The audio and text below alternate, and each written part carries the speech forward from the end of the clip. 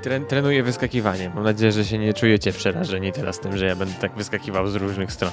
Tak, wiem, to jest nawiązanie do jednego innego słynnego e, kanału na YouTubie i takiego typa, co też wyskakuje z różnych miejsc. Drugi odcinek Q&A przed wami. Tym razem, tak jak wam powiedziałem w poprzednim materiale, będziemy odpowiadać na pytania wasze, które były kierowane zarówno do mnie, jak i do Ambera. E, pytania będzie zadawał Meralon, więc jeżeli coś jest niewyraźne albo coś zostało zepsute, to oczywiście serdecznie przepraszam. Ale Meralon się też poleca na nagrywanie na przykład wesel, komunii, świętych e, i chrzcin. Jak się dobrze postaracie, to myślę, że i e, nagram e, pogrzeb. Numer gdzieś zostawię. Druga część Q&A przed wami. Podałem sobie rękę do buzi. O, Regresy wczoraj. tak. Reglesy w to, że miłość i grę były urocze. Pozdrawiamy Reglesa.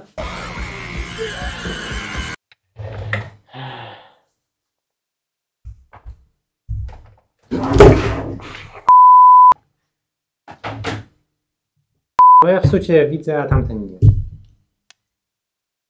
Odblokowywałem telefon. Mhm. Mogę zjechać do dołu. Czekaj. No nie, bo teraz jesteście na jednej wysokości.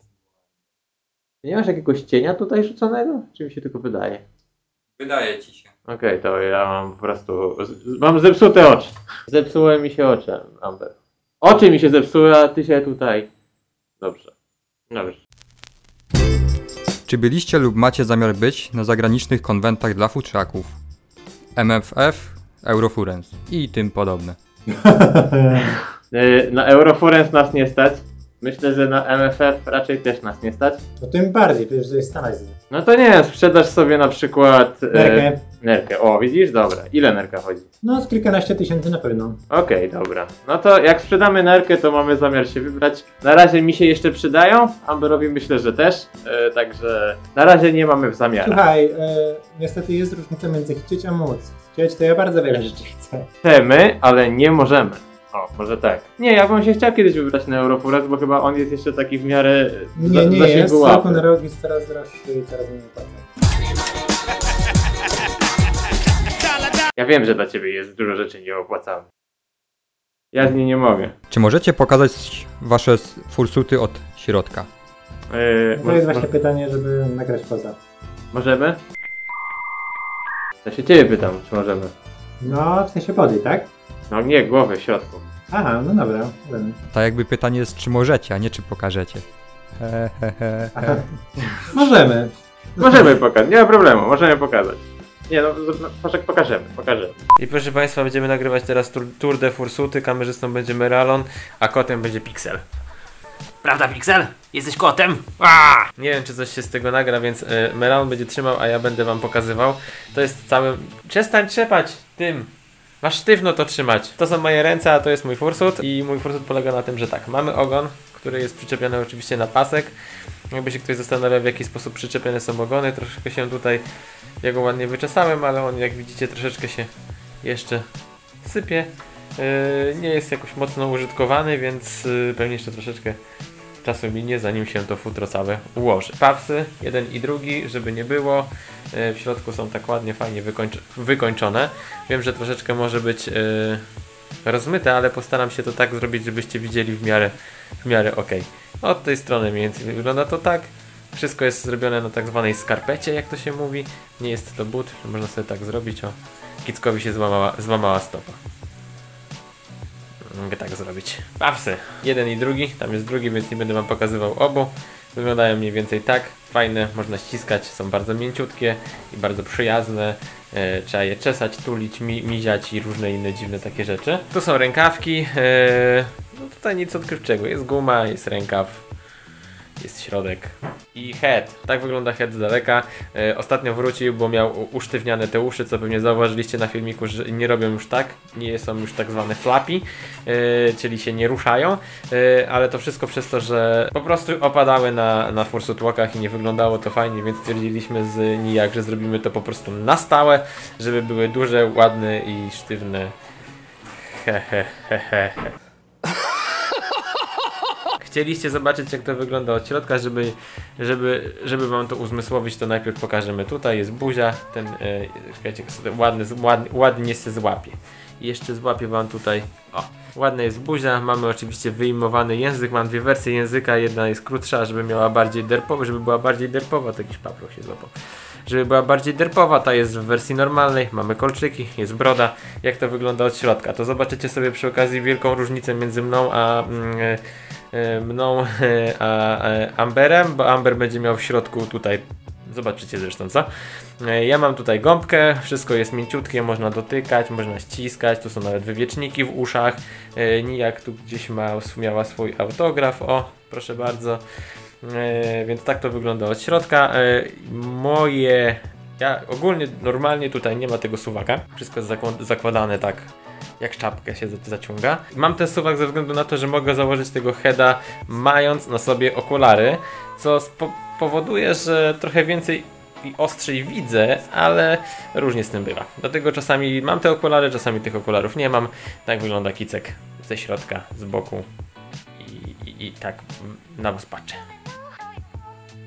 Okej, czyli tak wygląda y, część mojego fursuta, którą pokażę teraz. Najpierw może zaczniemy od łapek. Te akurat są y, pięciopalczaste. Widzimy, y, mam też drugą parę czteropalczastych, które są puffy bardziej.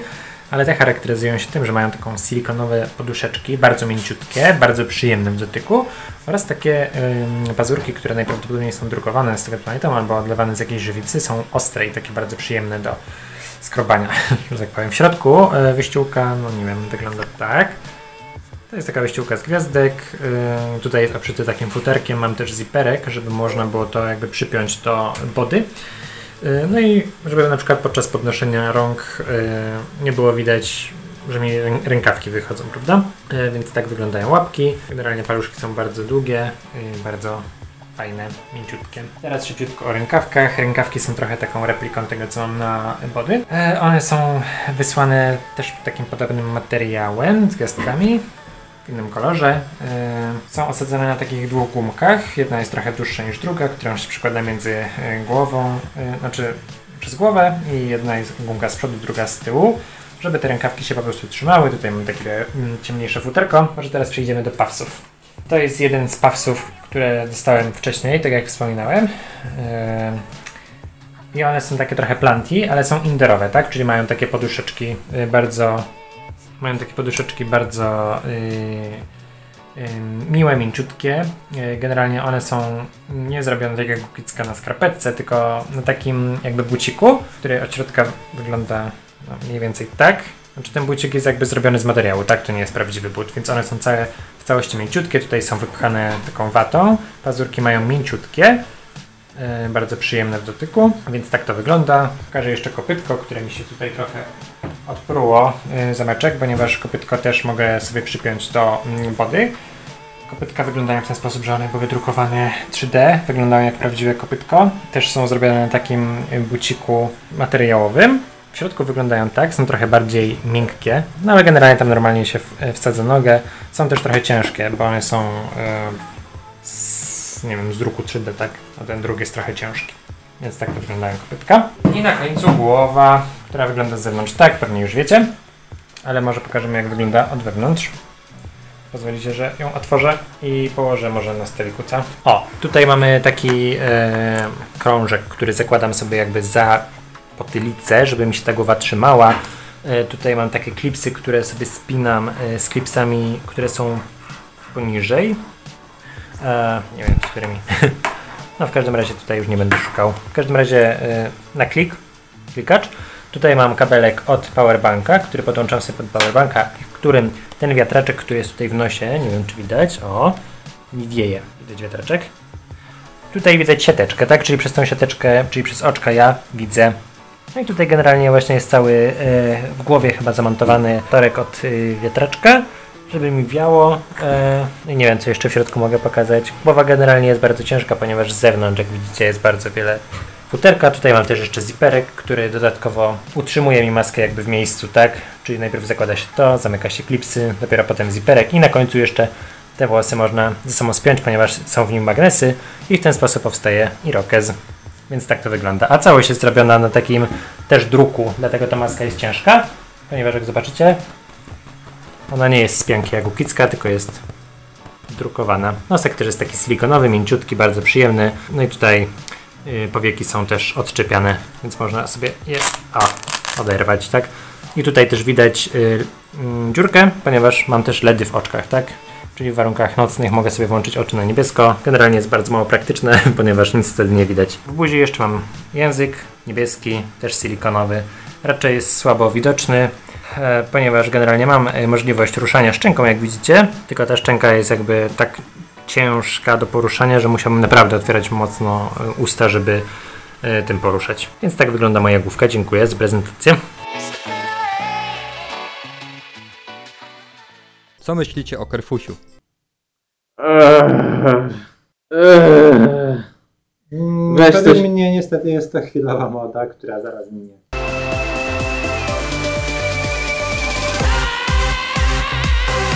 To jest porąbane! Kto to się w ogóle tym interesuje? Gościu, ten robot jeździ, oni go kurwa miziają po uszach i to jest wszystko co on robi.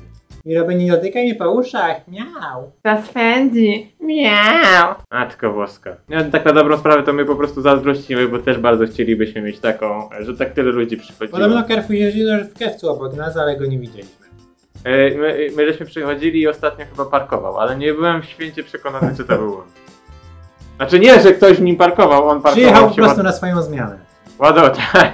Skończył w, kerfu, w kerfie pracować, skończył i pojechał do kewca. Zarabia sobie. Dorabia sobie po prostu po godzinach. Tyle w kerfie płacą. No. Wszyscy tak to jest, niestety, życie, wiecie. Tak jest z umowami, śmieciówkami, pamiętajcie kochani. Na chipsach dużo nie zarobicie, a kola jest niezdrowa. Pytanie od Przemko 1912. A nie 19-12? I to jest to samo. Dokładnie. It's the same picture. They're the same picture. Czy jest może parę rzeczy z dawnego fandomu, za którymi dzisiaj tęsknicie? Jeżeli tak, to jakie to rzeczy? A to chyba bardziej pytanie do ciebie, bo ty jesteś stary fandom. No. Ja jestem młody.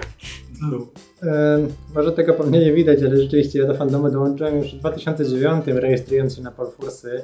I w sumie trochę tęsknię za tymi właśnie takimi stronami, na których... To był jedyny jakby sposób porozumiewania się między futrzakami. Były takie strony internetowe. Były To się nazywało Fora. Co? Fora. No, Polfursy i futrzaki. Org. Aktualnie chyba żaden nie istnieje, albo ten Polfurs chyba jeszcze dogorywa, bo futrzaki na pewno nie istnieją. Serio chciałbyś wrócić do takiego... E, Znaczy to było takie urokliwe.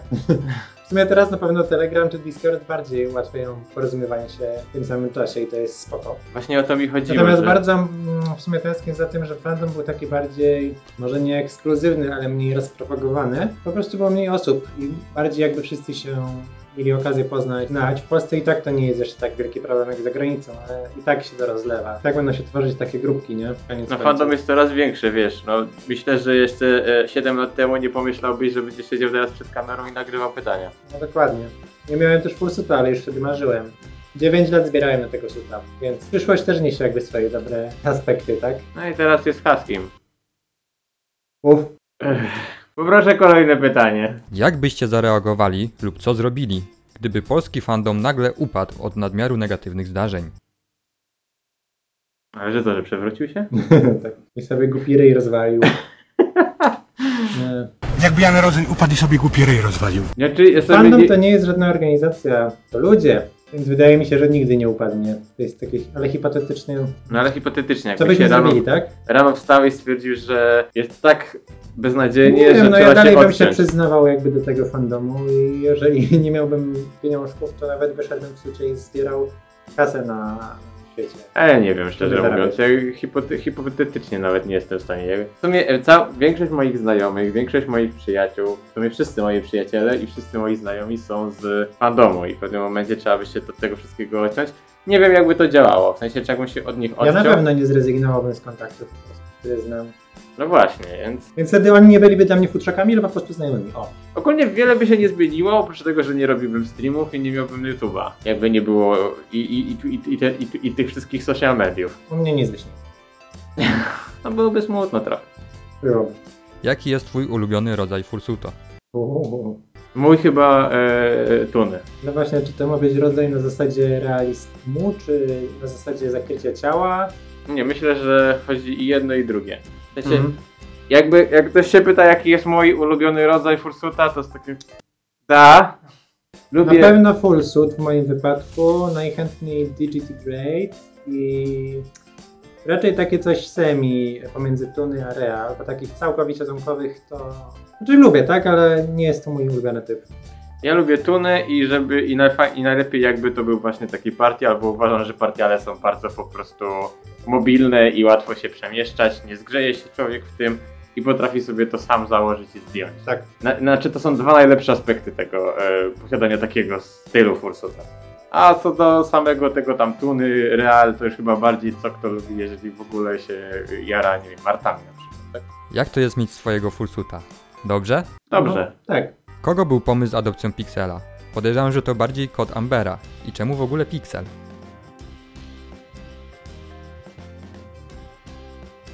Tak, to jest mój kot. Pracując w lecznicy jeszcze jako lekarz weterynarii, mm, była tam taka pani, która prowadziła fundację zajmującą się z bezdomnymi zwierzętami. No i przyszła pewnego razu, że kotka tam jakaś działkowa bezdomna okociła się i miała tam chyba cztery rude kociaczki. Dwa to były samce, dwa sam, dwie samiczki. No i przyszła z tymi kociakami raz tam, żeby je właśnie odrobaczyć, mm, sprawdzić ich stan zdrowia. No i zobaczyłem Pixela, który miał największy terp na twarzy. Wybrałeś Pixela, bo był najbrzydszy ze wszystkich kotów, które tam były. w sumie tak. No i zapytałem Zajca, czy chciałby mieć kotka, bo on w sumie zawsze całe życie miał psa i chyba nie miał do czynienia z kotami, a ja miałem całe życie koty w domu, więc wiedziałem tak, jak się nimi zajmować. No i Zajcew się zgodził, właściciel mieszkania się zgodził, więc tam miesiąc później, kiedy Pixelek trochę podrósł, przygarnąłem go, no i Zajcew się w sumie w nim zakochał. Jak was przywiozłem, Tak, to a jeżeli chodzi o imię Pixel, to Zajcew nalegał. Ja chciałem, sobie. powiedziałem, że następnego kota, jakiego będziemy mieć, nazwiemy sobie CD Action albo Secret Service. Tak, pozdrawiamy. Albo Bajpek był jeszcze. Jeszcze było coś takiego. Cybermycha. O, O, nazwiemy go Cybermycha. Nie, no ja bym powiedział, że Pixel to w sumie trochę już nasz. no, Tylko, że Amber się bardziej nim opiekuje, bo tak jak sam wspominał, bardziej się na nim zna, na kotach i z zawodu i z doświadczenia. Ja miałem niestety całe życie psy, więc stwierdziłem, że fajnie by było mieć kota i zobaczyć na czym to polega. I szczerze mówiąc nie wiem, czy chciałbym teraz mieć psa. Wolę koty mieć są bardzo bezpro- bezproblemowymi zwierzętami, naprawdę. Polecam. Ja się, mi się podoba, że ma swój własny charakter i podoba mi się to, że y, nie, jest, nie jestem tak bardzo uwiązany jak na przykład z psem. No, całym szacunkiem dla właścicieli psów. W sensie no z psem no to musi być rano, po no psy południu, to jest czy taki tam bardziej dwa razy. odpowiednik dziecka, tak? No tak, powiem jak, brzydko kulały nogi trochę. a, kota, a kota może zostawić na 24 godziny samego w domu, jest da radę i będzie miał... Jego za bardzo nie interesuje, czy ty jesteś w domu, czy nie. Jak najbardziej. Tylko żeby, żeby miska była. Znaczy ty jesteś z założenia, że ciebie interesuje, ja jestem z założenia, że on ma trochę wywalony. Teraz Czy zaobserwowaliście przewagę osobników płucu męskiej w fandomie? Czego? czego? Płucu? Łucy. Łuc. Płuc męskich? Tak, płuc męskich. Jest to zauważalny fakt, czy tylko plotka? Podejrzewam, że tam chodziło Płuca o... męskie mają trochę większą pojemność niż żeńskie, ale hmm. Podejrzewam, że tam chodzi o płcie. A, no to w polskim fandomie na początku zdecydowanie to praktycznie 99% byli mężczyźni. Teraz oczywiście wraz z, nie wiem, młod- młodnieniem fandomu zdecydowanie więcej dziewczynek dochodzi, tak? Jeżeli chodzi o podział płci. Natomiast za granicą wydaje mi się, że jest porówno. Ja mam taką teorię na temat tego, dlaczego w fandomie e, fury w Polsce jest tylu facetów. Powiem, e, żeby fandom fury w Polsce trzeba było poznać na początku, trzeba było mieć komputer, internet, trzeba było się tym jarać. I z całym szacunkiem do dziewczyn, bo wiem, że są też informatyczki, niektóre się bardzo mocno lepiej znają nawet jak i ja. Tak, ale, Ale że niestety- z 80% osób jest informatyką. Tak, ale po prostu kiedyś e, informatyków to jednak większość, większość było facetów i stąd po, po, wydaje mi się, że jest to taka korelacja, że jednak teraz jest trochę więcej, e, więcej facetów w fandomie fury niż e, powiedzmy za granicą. No ale to się zmienia, jak powiedział Amber. Teraz to widać bardzo mocno na forsutach, gdzie dziewczyny stanowią większość. Jaka była najdziwniejsza sytuacja w fandomie fury? Masz jakąś taką? Rodziców. No i tego nie mogę wrzucić, Amber. Bo mnie YouTube zablokuje. Masz jakąś inną historię?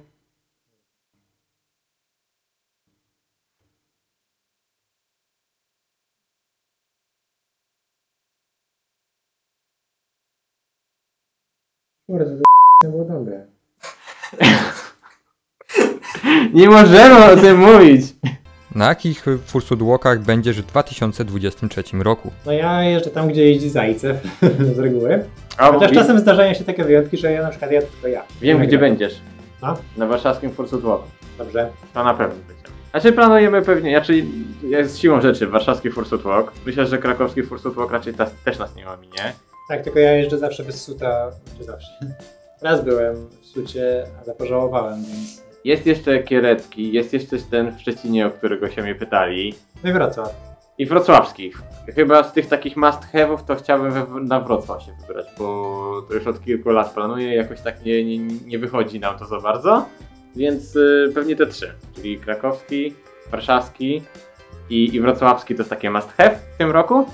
A wszystkie inne to raczej na zasadzie takiej, jak się uda, to będziemy, jak się nie uda, no to no to, to next time. O, wiem co.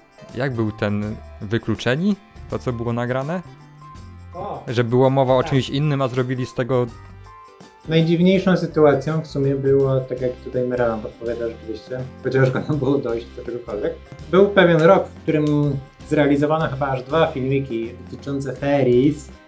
Yy, Pierwszy to był filmik Tabu, nie wiem czy go oglądaliście, O matko, który był totalnie... e, że to jest dobry przykład, dlaczego Tak. futrza- futrzaki, oryginalne futrzaki nie chcą za bardzo chodzić do telewizji. Tam na- nagrali filmik, e, uczestnicy stwierdzili, że no bardzo dobrze wypadli, super, bardzo miła atmosfera, a potem oni to tak zmontowali, że szli na ostatnich, Przegrywów. tak, od kolei, kolei Wyszli Od na odmieńców, przegrywów, piwniczaków i Mhm. ludzi, którzy mają problemy socjalne. psychiczne. No, też. Ale drugi, który wyszedł chyba jeszcze do TVP zarządów Platformy, był bardzo miły i bardzo przyjazny. Tak, ale on generalnie był o futrzakach, pokazywał ich nawet w dobrym świetle. Dziękujemy bardzo za wszystkie pytania. Dziękujemy kochani i życzymy Zajcewowi, żeby zbierał kolejne suby. I to by było na tyle, jeżeli chodzi o QA. Bardzo dziękuję za 3000 subskrypcji jeszcze raz, za to, że zasubskrybowało ten kanał naprawdę bardzo dużo osób, za to, że jesteście, oglądacie te materiały, a także oglądacie streamy, które od czasu do czasu e, są organizowane, innymi w środę i w niedzielę, na które Was też serdecznie zapraszam. Dzięki jeszcze raz za wszystkie pytania, dzięki jeszcze raz za Wasze e, subskrypcje i za to, że jesteście. Do zobaczyska w kolejnych materiałach. Kicek, Amber i Melalon, bo tak żeśmy składali ten cały Q&A. Dziękujemy i do zobaczyska.